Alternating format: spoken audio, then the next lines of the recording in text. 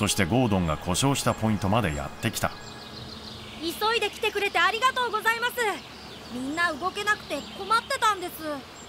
だが工具箱を持った男性は訳がわからなかった。私が修理なんかできない。私は建設作業員だ。港まで行こうと思っただけだ。なんてことだ。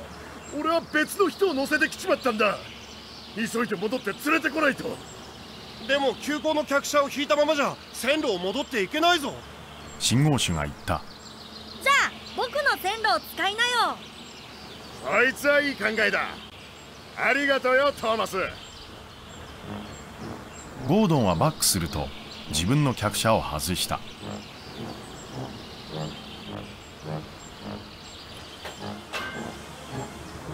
それからトーマスの線路に入った